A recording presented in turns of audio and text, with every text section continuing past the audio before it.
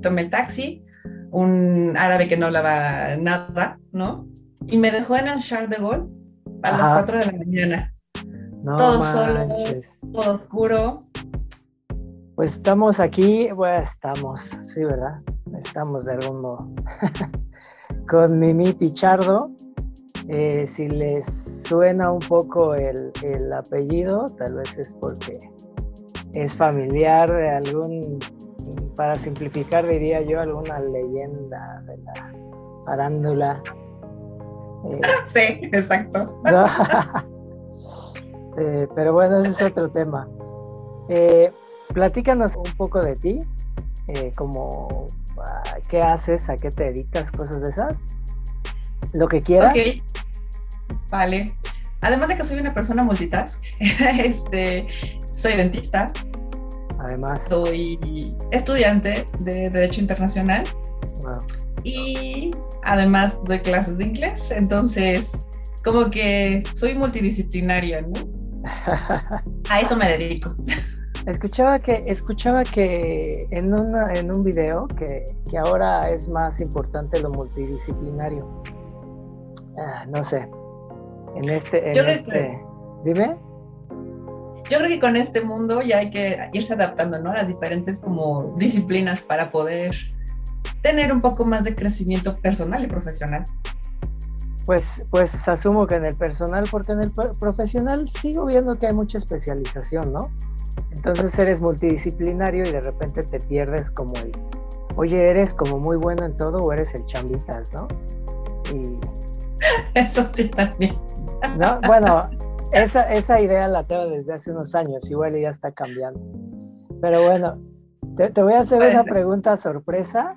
Este, sí, no te, a ver. No te espantes. Es solo un par de preguntas y, tú, te voy a dar dos opciones y tú me, me, dices como la primera que quieras, ¿no? O sea, sin pensar demasiado. ¿Va? Ok, ok. A ver, eh, ¿café o té? Café. Ok. La segunda, ¿Miami o Cancún? Cancún. Ay, muy bien. Van, van dos personas contigo que les hago la misma pregunta y me responden igual. Hay que, hay que apoyar al turismo nacional. Nada más que después me enteré que el otro no había ido a Miami y me quedé así como, ah, caray, espérame, ¿qué pasó? Sé que tú ya fuiste, si no me equivoco. Entonces, bueno, ya. Ya. Pues para que los que estén viendo, los tres que estén viendo este video, se queden pensando, ¿por qué dijo eso? Bueno, igual.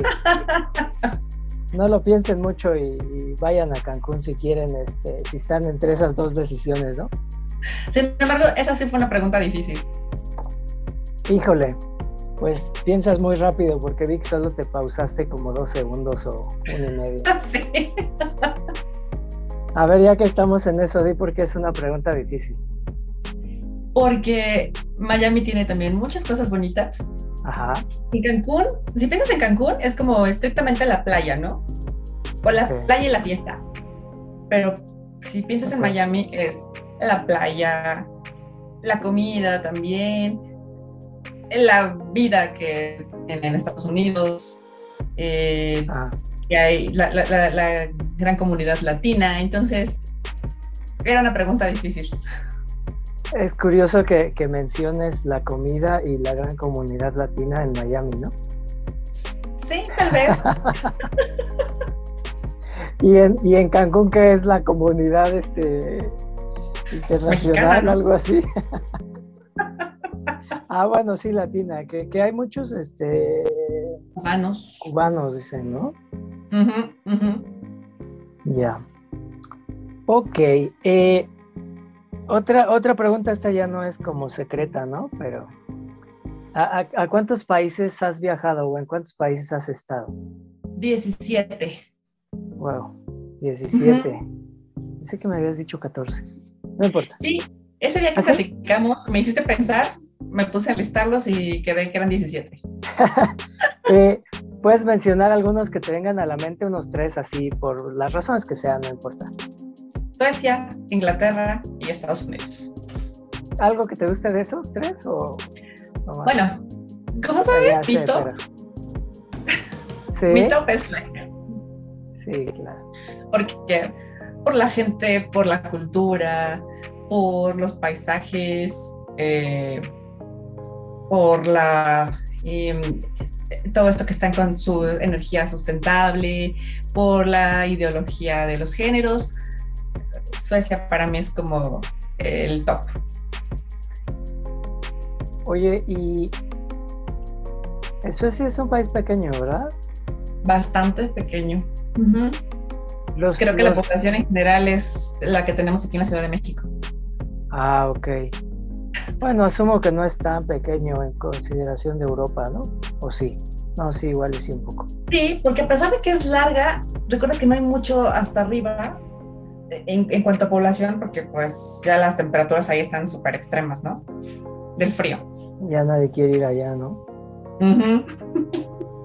Los zapatos suecos son de Suecia, asumo, ¿no? No, son de Holanda, ¿no? Eh, a eso iba, que, que, los he visto como de Holanda, pero se llaman suecos. Pero suecos con Z. Ah, ok, ok. Seguro tiene, seguro tiene algo que ver ahí el asunto de las palabras. Seguramente. ok. Bueno, a ver, deja ver. Ya me perdí por aquí. Eh, si supieras de alguien, no sé, algún amigo o algo que quisiera viajar al extranjero como por primera vez, ¿qué le sugerirías? algo así como de, oye, no te olvides de esto, no te olvides de aquello, esto da igual, pero... Claro, eh, le sugeriría que fuera a un lugar donde pudiera tener como varias cosas, donde tuviera cultura, donde tuviera la moda, eh, los paisajes, ese tipo de, de aprovechar también ese tipo de cosas como naturales. ¿Y qué le, qué le sugeriría? no gastes en souvenirs. Porque además es, eh, es, bíblico. Eh, no falta el, que se aparece, ¿no? Como, ahí me traes algo. O, me traes un llaverito por lo menos, ¿no? Sí, o la playera típica, que luego las playeras son caras, ¿no? Pero la playera típica de me trajo solo esta playera. Ajá, sí, Y ese ya es otro nivel, porque el llavero está más abajo, ¿no? sí, exacto. Sí, pero, nunca en el que anuncias, ¿no? Voy a salir de viaje, me voy a ir a tal país. Oye, a ver qué, qué me traes. Y entonces estás más preocupado por saber qué le vas a traer a esa persona, que a mí en lo personal los souvenirs se me hacen caros, no están hechos en el país que son. No, sí están hechos en el país, ¿no? Pero en el país de China. No, porque si das cuenta te dicen, ahí, sí. Sí, bueno, en algunos lugares sí como que tratan de cuidar eso, pero pues sí, o sea, sale más barato por docena, ¿no?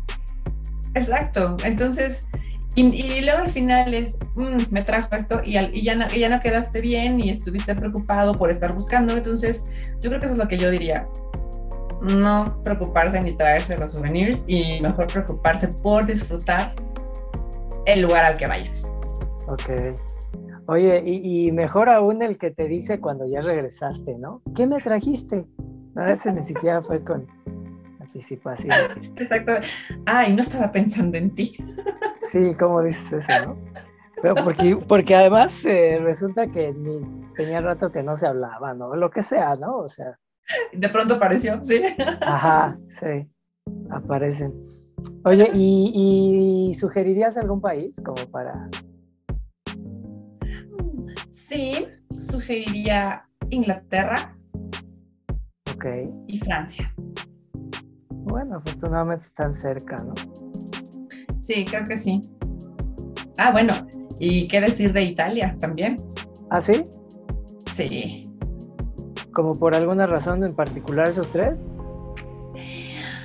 Bueno, Inglaterra, por todos los paisajes que tiene, o sea, no solamente es estar en Londres, sino cuando ya te vas al countryside, empiezas a ver unos paisajes lo que la campiña inglesa, este, la comida que es muy interesante. Tuve la oportunidad de estar allá un mes en casa de una familia. Entonces, la comida casera inglesa es muy rica. Ah, pero la casera inglesa, ¿no? La casera inglesa. Pero he de decir que me volví fan del fish and chips. No, le hagas. Es como una comida callejera, ¿no? Bueno, cada cabeza es un mundo, ¿no? Otra persona me dijo, da, la comida de Inglaterra es pues, el fish and chips que tienes que probar, algo así digo, ¿no? Pero... Ajá, ajá. Y te hiciste fan. Okay. Sorprendente porque a mí no me gusta el pescado, entonces fue así como, sabe muy, sabe muy bueno, entonces, eh, 10 de 10. Wow. Ok.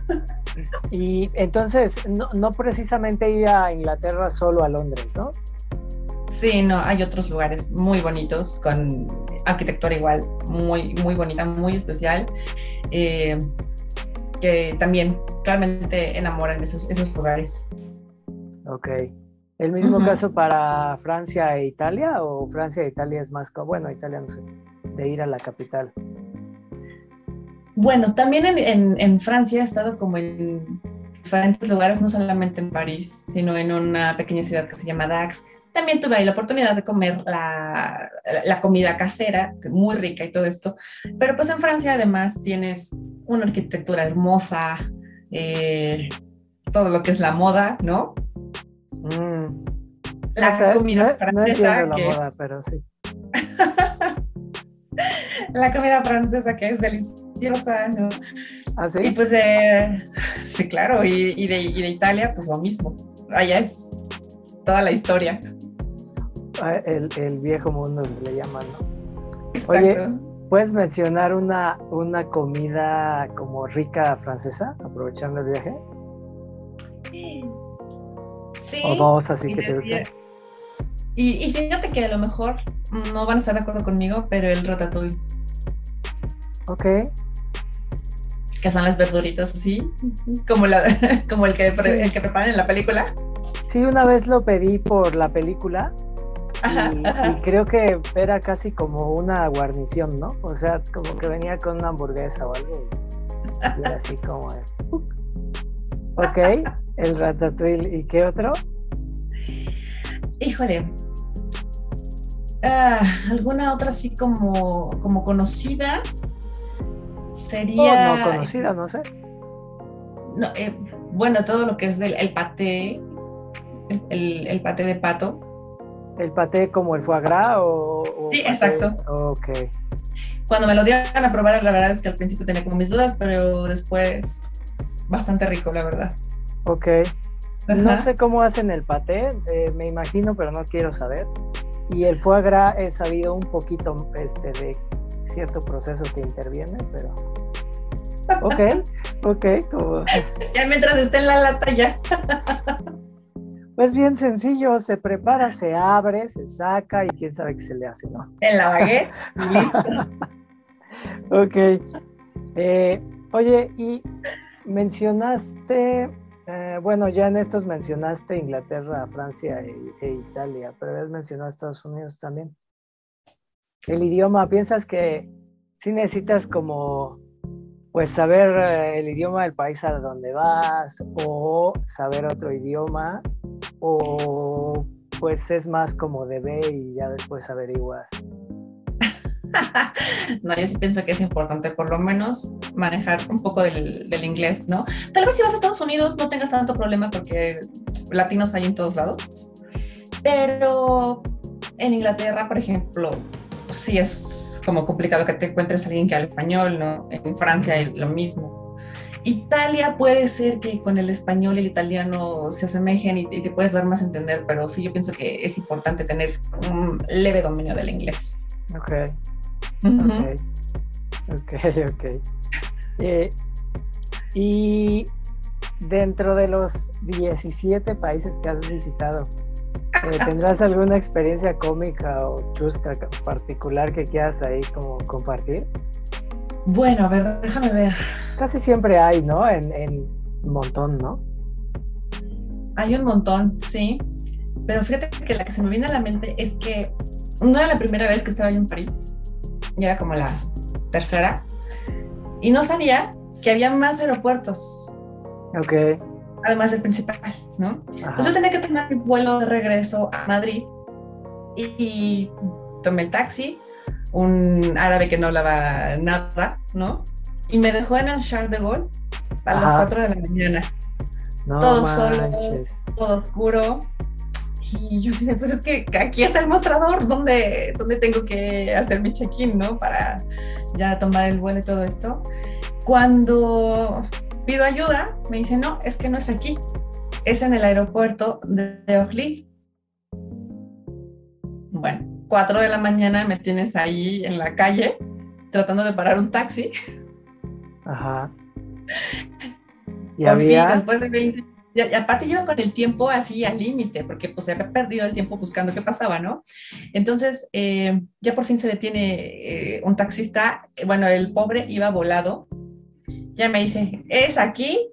Me bajo, pregunto, no, es que hay dos Orly, el uno y el dos, ¿no? Y a ti te toca en el dos pues otra vez vuelve a conseguir un taxi. No. Corriendo. Llegué a último, a último minuto, ya me estaban voceando, eh, se me abrieron las maletas, eh, no tenían por qué. El abrigo, todo. Ya cuando llegué, evidentemente, al, al, avión, todos me estaban esperando, ¿no? Y las caras, las caras largas de todos ellos, y así de, ay, perdón, perdón. No era en el Charles de Gaulle. Hola, hola. Sí, en ese momento tal vez no lo pude ver tan con humor, porque estaba muy preocupada, pero ya cuando lo empiezas a platicar dices, ah, mira nada más, qué, qué anécdota. Sí, esas anécdotas son divertidas o simpáticas para platicar después, ¿no? No para vivir. Exacto. Oye, ¿y, y como cuánto tiempo se hace del Charles de Gaulle a, Orly? Híjole, no sé, eh, fueron como 25 minutos y porque no había tanto tráfico, evidentemente, y el taxista iba esquivando a todos los que nos, nos ponían enfrente. O sea, pero sí está lejos, ¿no? Sí. Sí, sí, sí. Yo creo que si hubiera sido en un horario como más de a partir del mediodía o no sé si habría sido imposible. Sí. órale.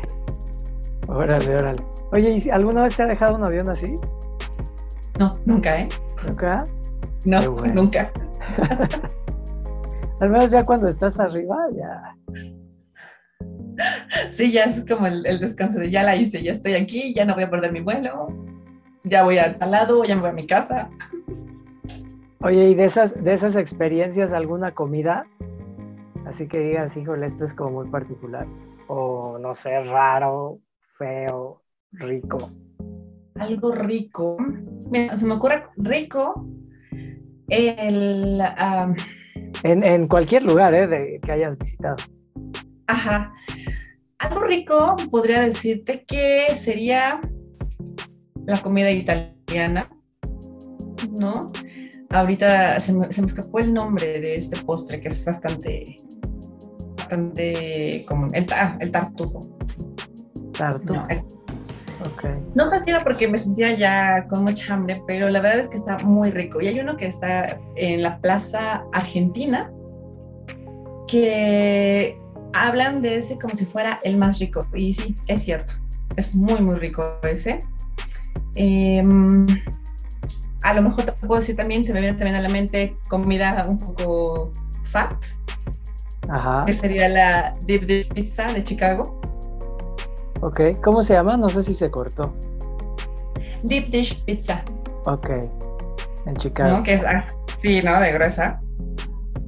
¿Y es pizza? Sí, está, está muy rica porque la hacen en un sartén precisamente así muy alto y está súper rica, la del Jordanos es la mejor. Hay otra de la Pizzería 1, que también es muy, muy buena. Y fíjate, de comida que me haya desagradado en algún lugar, híjole, no, no se me viene a la mente ninguna. O así esas que, que, que estás comiendo ahí, no sé, tejón con... no sé, ¿no? iguana con este Ahí, Un cocodrilo y. Ándale, ¿no? Sí, de veras. No, fíjate que estando en Suecia y todo eso, nunca tuve la oportunidad de encontrar un lugar donde vendieran reno. ¿Es, ¿El reno es como venado con cuernos? No. Sí. Sí, sí, sí, que con unos cuernos muy, gruesos. Ajá. ¿Y no encontraste? ¿No es tan común? No, no tuve la oportunidad. Y tal vez, si me preguntas, no la hubiera eh, probado porque es mi animal favorito. Entonces yo creo que no podría comer reno. Hoy vas a estar comiendo y llorando, ¿no? Así como... ¿Cómo te habrás llamado? Sí. Espero que no haya sido Rodolfo. Oye, ¿y tienes algún plan de, viajar en el, futuro como corto? ¿Algún lugar? Sí, mm, quisiera ir a Estados Unidos. Okay. Eh, espero que próximamente, por lo menos para pasar Navidad o Año Nuevo por allá, porque sí, ya con esta pandemia ya llevo dos años sin salir. Dos años. Bueno. ¿Alguna ciudad en especial? Los Ángeles. Ok. ¿Por qué? Por el shopping. los outlets y eso, ¿no? ¿Ahí hay outlets o en todos lados hay outlets? Casi en todos lados hay outlets, sin embargo en Los Ángeles está muy lejos. Em, para outlets, yo creo que el, para mí mi top es el de San Diego. el de las Américas, está muy, muy padre ese. Oye, ya para ir cerrando un poco más local, eh, ¿qué, lugares les recomendarías a los extranjeros para visitar en, de tu país o de tu área? Como... Ok, yo creo que el lugar que recomendaría, así el número uno sería Oaxaca. Ok. Por la cultura, por las tradiciones, la arquitectura, la comida, ¿no? Eh, porque siempre decimos Cancún, pero realmente Cancún no representa lo que es México, ¿no? Es como más eh, verlo para extranjeros, hoteles y playa, y hasta ahí, ¿no? Y Oaxaca tiene un montón de cosas súper bonitas. Ok, interesante, interesante. ¿Y de, ¿Y de comida algo así que deban probar? Bueno, ya mencionaste Oaxaca, pero algo así como de, si no fuiste a, si no comiste esto, no fuiste a México. Bueno, en Oaxaca pues serían las tlayudas. Ajá. ¿No? Y las tlayudas de chapulines. Chapulines. Van dos de dos que hablan de los chapulines. Es que son riquísimos. Tienen un sabor raro, pero rico. Ok. Y obviamente los tacos en general, supongo, ¿no? Pero. Ah, claro, los tacos, pues es como el must, ¿no? De las cosas. Pero pues si a lo mejor probar unas cosas diferentes podría ser la, tlayuda, eh, el mole. Eh, casi no me gusta como decirles a los extranjeros, ¿no? Porque no están tan acostumbrados a comer las cosas picantes, pero pues a lo mejor el mole puede ser tan así. Eh, un chile en nogada, aunque ya no estamos en la época, pero pues tampoco es tan picante. Em, Para nosotros, ¿no? bueno, puede ser, puede ser. Eh, los tacos, claro. Y sugeriría más tomar tequila y mezcal que pulque. Está poniendo de moda el pulque, ¿no? Sí, pero honestamente yo no, no me gusta. ok, pues ya hemos terminado. Muchas gracias. No, pues gracias a ti por, por pensar en mí para tener una colaboración en tu, en tu canal. Gracias. Si quieren ver más eh, entrevistas, suscríbanse. Si no, pues no, hagan lo que quieran.